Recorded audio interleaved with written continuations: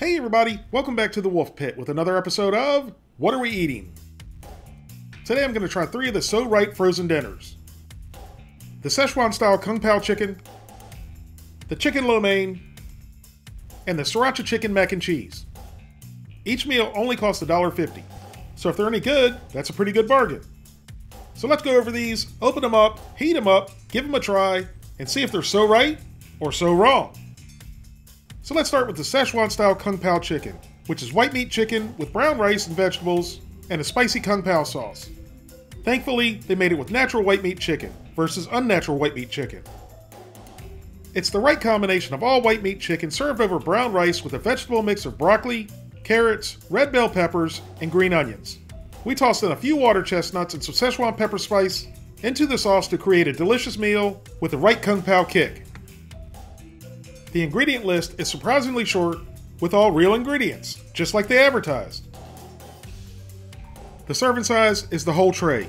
Per serving, there's 290 calories, 7 grams of total fat, 1 gram of saturated fat, no trans fat, 15 milligrams of cholesterol, 750 milligrams of sodium, 48 grams of carbohydrates, 3 grams of fiber, 14 grams of sugars, and 11 grams of protein.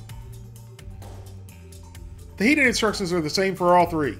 You lift the corner of the lid to vent, and then you microwave on high for 3 minutes.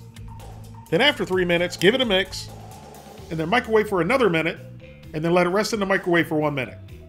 So after opening up the cornered to vent, this went into the microwave for 3 minutes. After microwaving on high for 3 minutes, mixing at the 3 minute mark, and then microwaving for 1 more minute, and then resting for 1 more minute, our Szechuan style Kung Pao chicken is ready.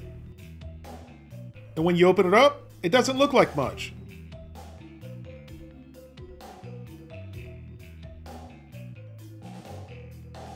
And even after mixing everything together, it still doesn't look like much. Probably about a half a cup of food total. This is very reminiscent of the Yusing teriyaki chicken meal I got from the Dollar Tree. But compared to that meal, the So Right looks gourmet. The vegetables besides the carrots are almost non-existent. They're in there, they're just little teeny tiny pieces. And I did count one and a quarter piece of water chestnut. So I went in to try the most important ingredient in the meal the chicken. I got the biggest piece I could find. And basically, it looked like a piece of chicken out of Campbell's chicken noodle soup. And when I gave it a try, it tasted like the chicken in the Campbell's chicken noodle soup. It had a firm, spongy texture that was somewhat dry and very much flavorless. From the list of ingredients, it appears to be a real piece of chicken, but I wouldn't bet my lunch money on that. I tried another piece of chicken by itself, unfortunately, with the same results. It simply wasn't very good. Then it was time to try a bite of everything the rice, the vegetables, the chicken, and the sauce. And as you can see by the spoonful, the main component of this dish and the cheapest component of this dish is rice. Like I said before, the vegetables are like little specks that get lost in the rice. The flavor, well, maybe I should say the lack of flavor. There wasn't really a whole lot of flavor in it at all. I really didn't taste any spice at all, and the sauce was more sweet than spicy or savory. I took one more bite just to confirm my thoughts, and it was a real quick confirmation. Now let's try the So Right Chicken Lo Mein meal, which is white meat chicken with multigrain pasta and Asian vegetables and a sesame garlic sauce. And again, it's made with natural white meat chicken, as opposed to unnatural white meat chicken.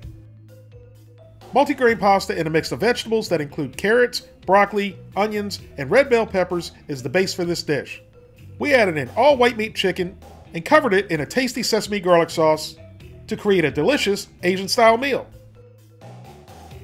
Now there's a few more ingredients in this meal than there was in the Szechuan style Kung Pao chicken.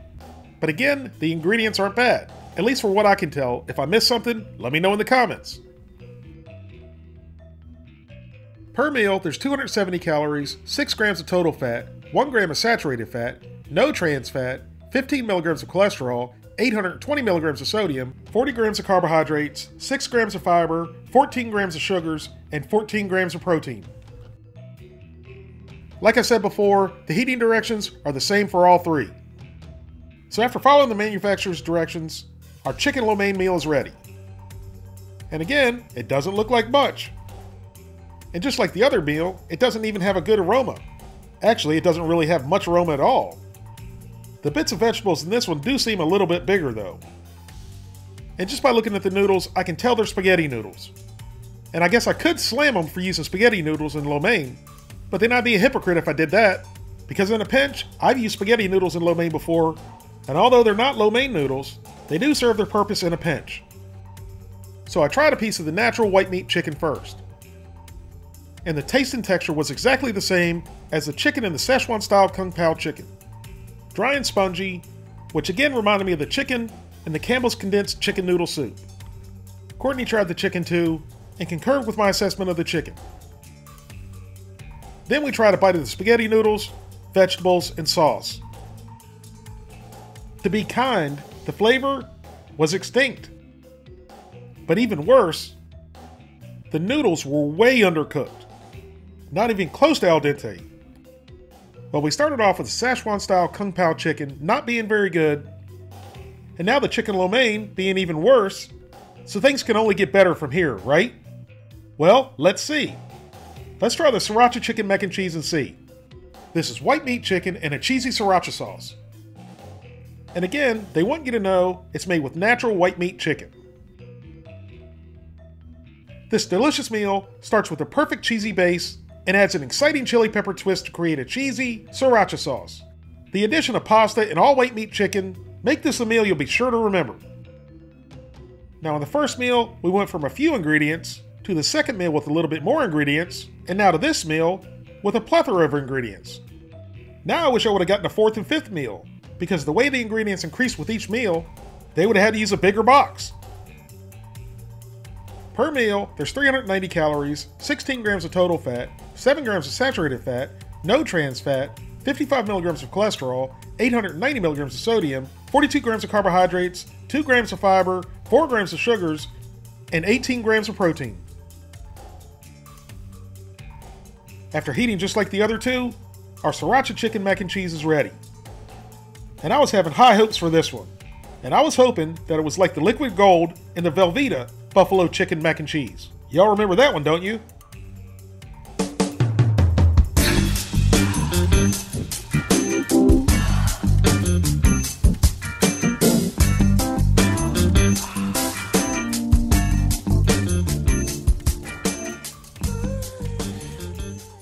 Now that was some sexy mac and cheese, wasn't it?